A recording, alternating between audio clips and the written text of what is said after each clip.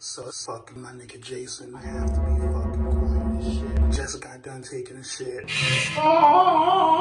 Flooded his fucking toilet. I have to go downstairs, grab a plunger.